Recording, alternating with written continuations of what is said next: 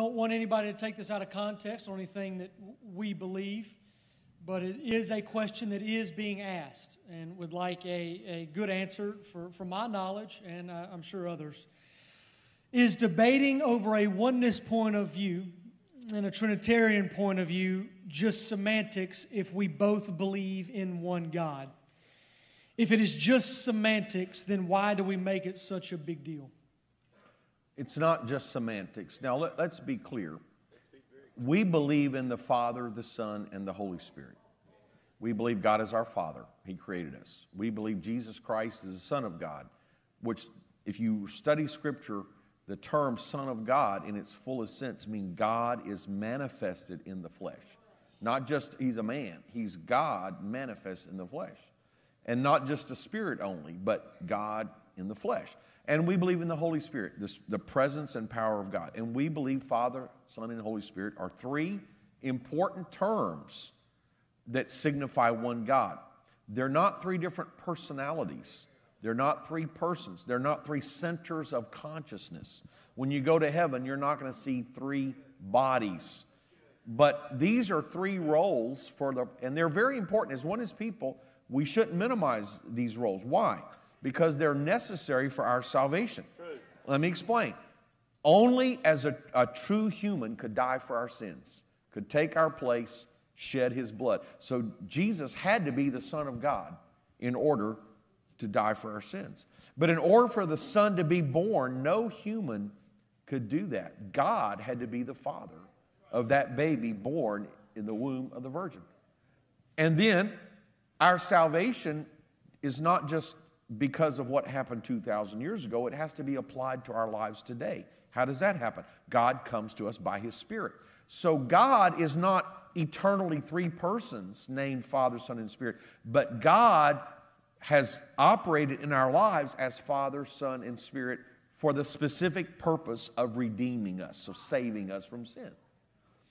So, with that as a background, three persons but one God is, would be a distortion because it interjects this idea that in the nature of God, there is some distinction or separation or division. So I say it's more than semantics. Now, I will hasten to add there are many people who may talk in Trinitarian language, but essentially have the same concept as we do. So that might be semantics in some cases. But I do think it's important for here's some for practical reasons. First of all, who are we praying to? We need to know for sure. Are we praying to one? Are we praying to three? When we get to heaven, who are we going to see? Are we going to see one? Are we going to see three? That makes a difference. Who is our faith in? And the significance of the name of Jesus. We need to understand because when we pray in Jesus' name, we expect demons to be cast out. We expect people to be delivered and healed, receive the Holy Spirit. But if the emphasis is on Father, Son, and Holy Spirit, then the name of Jesus is not magnified and we don't receive from God what He wants to give us. So there are a lot of practical reasons why we need to know the answer to this question.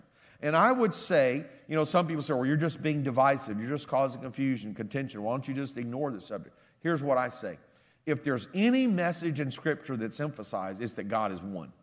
That's stated hundreds of times. So if I'm going to be a preacher and teacher of the Bible, I don't have the right to pick and choose what I want. I've got to preach and teach what the Bible says. I've got to emphasize what the Bible emphasizes. I can't ignore that. So I would say people who, who are teaching a different way, they're the ones that are causing the confusion. I'm not trying to cause any contention, division, confusion, or debate. I'm just trying to go back to the original. And if everybody would do that, then it would be just a matter of semantics. We would all believe the same thing.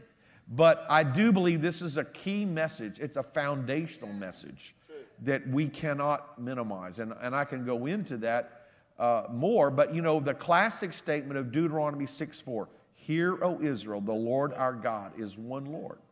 And then in Mark chapter 12, a scribe came to Jesus and said, Which is the first commandment of all?